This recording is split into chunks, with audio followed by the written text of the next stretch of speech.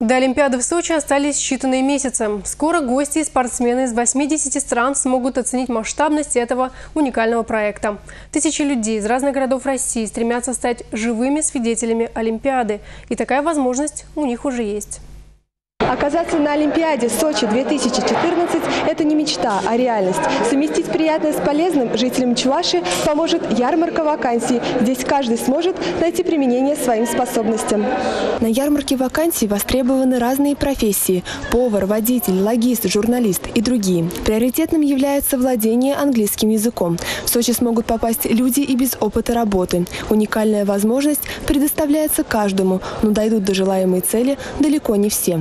Для нас очень важно, чтобы человек с его возможностями, с его навыками, своему с опытом а, подходил максимально под эту вакансию. Поэтому мы будем ориентироваться не от того, что может человек, а от того, что человек должен выполнить на Олимпиаде. Вот это наша основная цель. Взамен на высокие требования рабочий получит не только хороший заработок, но и бесплатное проживание, питание, компенсацию за проезд. И самое главное – бесценный опыт и много новых впечатлений. Для многих людей именно это является приоритетом.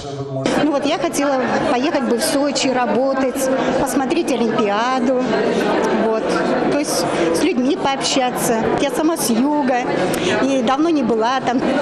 Мы хотим э, помочь э, стране провести такое важное мероприятие, как в Сочи и Паралимпийские игры. Хотим, чтобы гости довольны остались после Сочи. Опыт работы в Сочи поможет жителям республики и в дальнейшей жизни. Для многих работодателей это станет бесспорным доказательством профессионализма. Мы понимаем, что если мы создадим условия для жителей республики, чтобы они приняли участие во временных работах, вот, приняли в Олимпиаде э, на временных работах, вот, побывали в Сочи период проведения Олимпиады, это большой плюс. Организаторы уверены, что наши земляки смогут достойно представить Чувашу на мировом уровне. Более 600 тысяч гостей из разных стран и более 3 миллиардов телезрителей будут наблюдать за Олимпиадой в Сочи. Татьяна Филатова, Александр Петров, Республика.